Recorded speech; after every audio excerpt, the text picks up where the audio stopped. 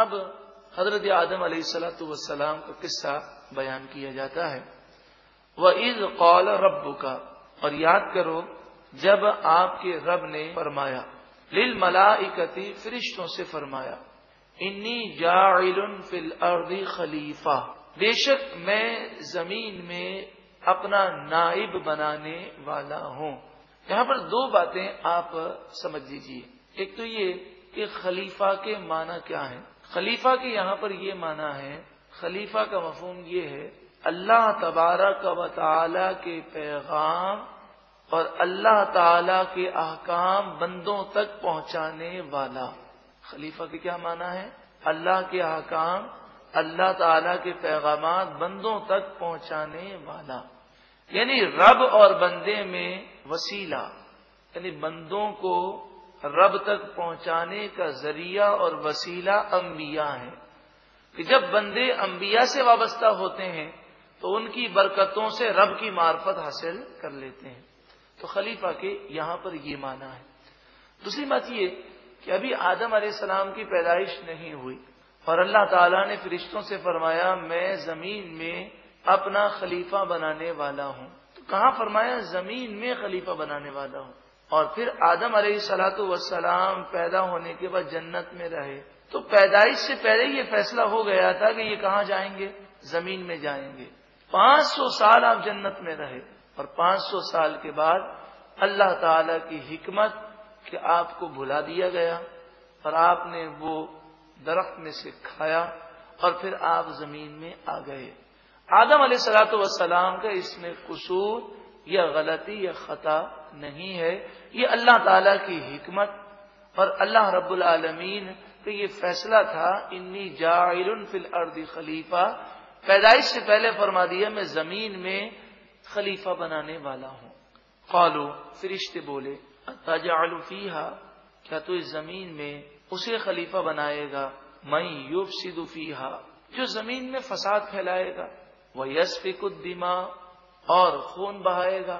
وہ نخن نصب حمد کا وہ اور ہم تیری حمد کرتے ہوئے، تیری تعریف کرتے ہوئے، تیری خوبیاں بیان کرتے ہوئے تیری تصویر کرتے ہیں اور تیری پاکی بیان کرتے ہیں۔ مطلب یہ تھا، اے پروردگار کہ انسان تو زمین میں فساد کرے گا۔ تو خلیفہ انسان کے بجائے ہمیں بنایا جائے۔ یہاں پر ایک سوال یہ ہے کہ فرشتوں کو کیسے پتا چلا کہ انسان فساد کرے گا؟ تو اس کی کئی وجوہات ہیں۔ ایک وجہ یہ ہے کہ فرشتوں کو جب یہ معلوم چلا کہ انسان میں نفس ہوگا اور انسان میں غصے کو بھی رکھا گیا، انسان میں شہوت کو بھی رکھا گیا، تو انہوں نے یہ خیال کیا اس طرح تو انسان بڑی آزمائش میں پڑ جائے گا۔ کیونکہ فرشتے غصے سے، شہوت سے، نفس سے معصوم ہیں، محفوظ ہیں۔ تو انہوں نے یہ خیال کیا کہ پھر انسان کا گناہوں سے بچنا تو مشکل ہو جائے گا۔ تو وہ پھر گناہ کریں گے اور زمین میں فساد ہو جائے۔ اور ہم چونکہ ان چیزوں سے معصوم ہیں تو خلافت ہمیں ملنی چاہیے۔ یہ بہت بڑا مقام ہے، یہ بہت بڑی سعادت ہے۔ یہ سعادت ہمیں نصیب ہو۔ پالا انی عالم مالا تعلمون اللہ تعالیٰ نے فرمایا، مجھے وہ معلوم ہے جو تم نہیں جانتے۔ میرے اس کام کی وہ وہ حکمتیں ہیں جو تمہیں نہیں معلوم۔ تم نے یہ تو دیکھ لیا کہ انسانوں میں یہ مادہ ہے، لیکن تم نے یہ نہ جانا کہ میرے وہ نیک بندے بھی ہوں گے جو فرشتوں سے بھی مقام و مرتبے میں بلند و بالا ہوں گے۔ حضرت امام غزالی علیہ رحمہ بڑی پیاری بات فرماتے ہیں۔ فرماتے ہیں کہ انسان اگر گناہوں میں پڑ جائے تو جانور سے بدتر ہے۔ کہ جانور کو جہنم کا عذاب نہیں دیا جائے گا۔ اور اگر اللہ اور اس کے رسول کا فرما بردار بن جائے تو عام فرشتوں سے بلند و بالا ہو جاتا ہے۔ وہ علامہ اور اللہ نے سکھائے آدم الاسما آدم علیہ السلام کو تمام چیزوں کے نام کل لہا تمام چیزوں کے۔ تمام چیزیں آدم علیہ السلام کے سامنے پیش کی گئیں، آپ کو نام سکھائے گئے۔ دنیا میں جتنی بولیاں قیامت تک بولی جائیں گی ان زبانوں میں آدم علیہ السلام کو ان تمام چیزوں کے نام سکھائے گئے، ان کے فوائد، ان کے نقصانات سب بتائے گئے۔ سما پھر آرادہم علی الملائکتی، ان تمام چیزوں کو فرشتوں پر پیش کیا۔ فقولا بس اللہ تعالیٰ نے فرمایا ام بھی اونی بھی اسمائی ہا الائی مجھے ان چیزوں کے ناموں کی خبر دو، مجھے ان چیزوں کے نام بتاؤ۔ ان کن تم صادقین، اگر تم سچے ہو، کس میں سچے ہو؟ اس دعوے میں کہ خلافت کے مستحق ہم ہیں۔ قالو، فرشتے بولے سبحان کا پاکی ہے تجھے۔ لا علم لنا، ہمارے پاس کوئی علم نہیں۔ اللہ ما علمتنا، مگر اتنا ہی جتنا تو نے ہمیں سکھایا۔ تو نے جو علم ہمیں دیا، وہی علم ہے۔ اس کے علاوہ ہمارے پاس کوئی علم نہیں۔ ان کا انتل علیم الحکیم، بے شک تو ہی علم والا، حکمت والا ہے۔ وسین فرماتے ہیں، فرشتوں کا یہ کہنا کہ خلافت ہمیں مل جائے، اس پر وسوسہ نہیں کرنا چاہیے۔ یہ فرشتوں کا مطالبہ کرنا اس وجہ سے تھا کہ خلافت ایک بہت بڑی سعادت ہے۔ اور سعادت پانے کی تمنا کرنا یہ بہت اچھی تمنا ہے۔ لیکن انبیاء کا مقام فرشتوں سے بلند و بالا ہے۔ ان آیات سے پتہ چلا کہ خلافت عام انسانوں کو نہیں ملے گی، انبیاء کو ملے گی۔ وہ علم میں بھی فرشتوں سے آگے ہوں گے اور عمل میں بھی فرشتوں سے آگے ہوں گے۔ قولا یا آدم، فرمایا، اے آدم ام ہم خبر دیجیے فرشتوں کو بھی اسما ان چیزوں کے ناموں کی۔ فلم ماں پس جب ام بہم بھی اسما آدم علیہ السلام نے فرشتوں کو ان چیزوں کے ناموں کی خبر دی۔ قال علم اقل لکم؟ اللہ رب العالمین نے فرمایا، کیا میں نے نہ کہا تھا، انی اعلم غیب السماوات والارض بے شک میں آسمان اور زمین کے غیب، پوشیدہ چیزیں جانتا ہوں۔ وہ عالم ماں تبدونا اور میں جانتا ہوں جو تم ظاہر کرتے ہو۔ پما کن تم تک تمون اور جو تم چھپاتے ہو، رب العالمین ظاہر اور باطن سب کو جاننے والا ہے۔ وہ عید اور یاد کرو جب ہم نے فرمایا لل ملا فرشتوں سے، اس جدو، تم سب سجا کرو لی آدم آدم علیہ السلام کو فس جدو سب نے سجا کیا، فرشتوں نے سجا کیا۔ اس وقت جتنی مخلوقات تھی سب نے سجا کیا۔ ساری مخلوق میں ایک ہی شخص تھا جس نے سجا نہ کیا اللہ ابلیس، مگر شیطان نے، ابلیس نے سجا نہ کیا۔ ابلیس جن تھا۔ سورہ کہف کی آیت نمبر پچاس میں اس بات کا ذکر ہے۔ یہ جن تھا۔ عبادت کر کر کے یہ اس مقام پر فائز ہوا کہ اسے فرشتوں کا استاد بنایا گیا۔ لیکن حضرت آدم علیہ السلام کی توہین کر کے وہ ہمیشہ کے لیے مردود بن گیا۔ ابا، ابلیس نے انکار کیا وسط اور تکبر کیا۔ تکبر کے معنی یہ ہے کہ اس نے اپنے آپ کو آدم علیہ السلام سے افضل سمجھا۔ اور تکبر کی تعریف یہی ہے کہ اپنے آپ کو کسی سے بہتر سمجھنا، یہ تکبر ہے۔ وس تک برا اور اس نے آدم علیہ السلام کے مقابلے میں تکبر کیا۔ وہ کانا منل کافرین اور کافروں میں سے ہو گیا۔ اب شیطان کو مردود کر دیا گیا، اسے نکال دیا گیا۔ وہ قلنا اور ہم نے فرمایا، یا آدم، اے آدم اس کن انت و زو جکل آپ جنت میں رہیں، آپ کی زوجہ جنت میں رہیں۔ یہ کلام حضرت آدم علیہ السلام کے جنت میں جانے کے بعد اور حضرت حوا رضی اللہ تعالی عنہ کی پیدائش کے بعد یہ کلام فرمایا گیا۔ حضرت آدم علیہ السلاۃ والسلام کی فصلی سے حضرت حوا کو پیدا کیا گیا۔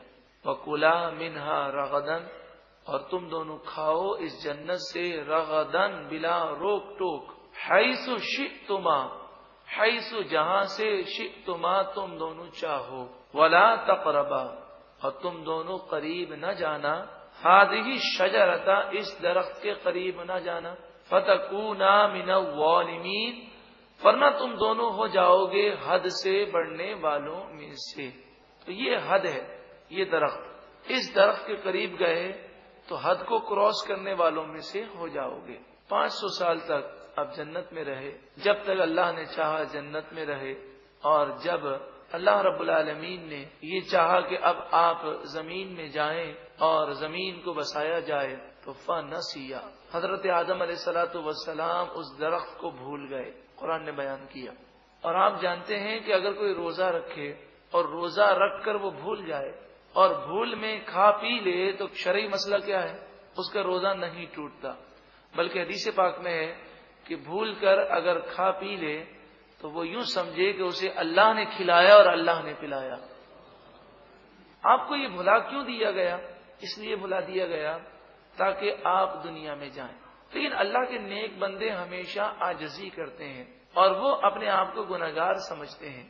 ایسے کئی بزرگان دین ہیں کہ ہوا چلتی تو رونے بیٹھ جاتے، آندھی چلتی تو رونے لگ جاتے۔ لوگ کہتے تو کہتے، میں رو رہا اس لیے ہوں کہ یہ آندھی میرے گناہوں کی وجہ سے چلی ہے۔ اگر میں نہ ہوتا تو مسلمانوں پہ تکلیف نہ آتی۔ تو یہ ان کی آجزی ہوئی ان کا مقام ہے۔ تو آدم علیہ سلاۃ والسلام کو بلا دیا گیا۔ اور یہ آپ کی آجزی ہے، یہ آپ کا مقام ہے، یہ آپ کا خوف خدا ہے کہ آپ کئی سو سال تک اللہ کے خوف سے روتے رہے اور تین سو سال تک خوف کے مارے آپ نے آسمان کی طرف نگاہ نہیں اٹھائی۔ یہ اللہ کے نیک بندوں کا انداز ہے۔ حضرت عمر رضی اللہ تعالیٰ قطعی جنتی ہیں، لیکن خوف سے روتے روتے آپ کے چہرے انور پر آنسو کی لکیریں بن گئی تھیں۔ حضور نے انہیں جنت کی بشارت دی ہے۔ حضور کی بشارت میں انہیں کوئی شک و شبہ نہیں ہے۔ لیکن جب اللہ کے نیک بندوں پر خوف کا غلبہ ہوتا ہے، تو وہ سب کچھ بھول جاتے ہیں اور اللہ کی محبت میں اور خوف میں گم ہو جاتے ہیں۔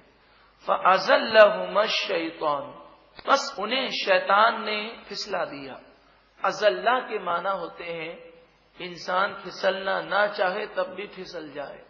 اگر آپ کا پاؤں پھسل جائے تو آپ خود نہیں پھسلتے، بلکہ آپ کے نہ چاہتے ہوئے بھی پاؤں پھسل جاتا ہے۔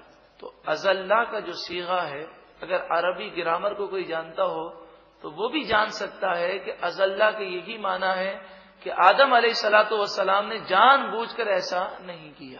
فضل شیطان و انہا شیطان نے اس درخت کے بارے میں ان دونوں کو پھسلا دیا۔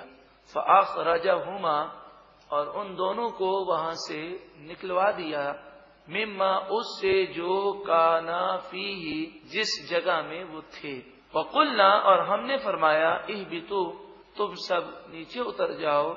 بعدکم لبعد عدو، تم ایک دوسرے کے دشمن ہوگے۔ دنیا میں دشمنیاں چلتی رہیں گی۔ جنت میں کسی قسم کا بغض نہیں ہوگا۔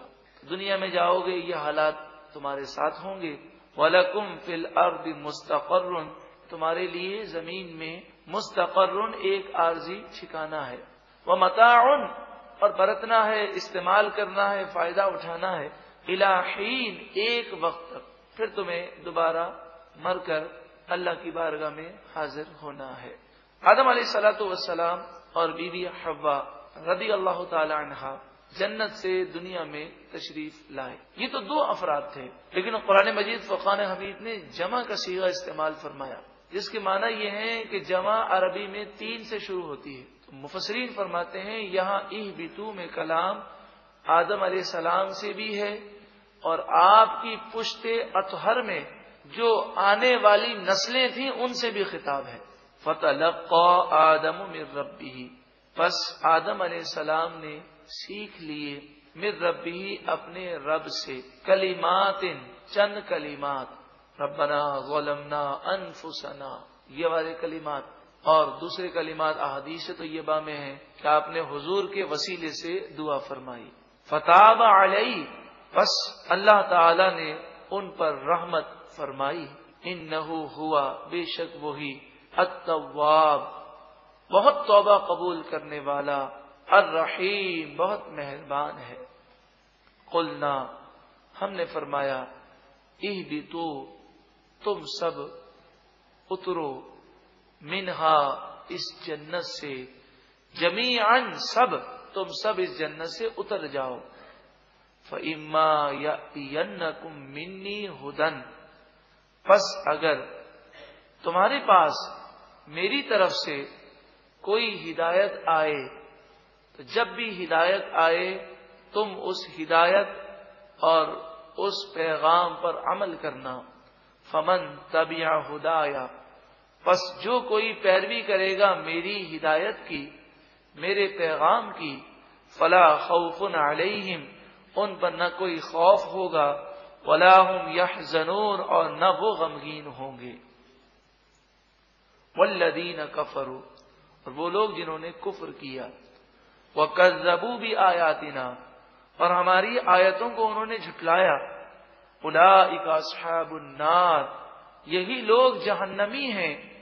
ہم فی خالدون۔ وہ اس میں ہمیشہ رہنے والے ہیں۔ دونوں گروہ کا ذکر کر دیا گیا جنتی اور جہنمی۔ انسان کو اللہ نے عقل بھی دی ہے۔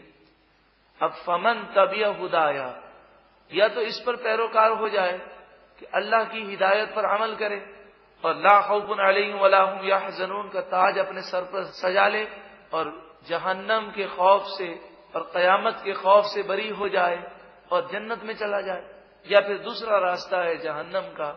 ہم یقیناً عقل مند ہیں۔ اللہ تعالی ہمیں جنت کے راستے پر چلنے کی توفیق عطا فرما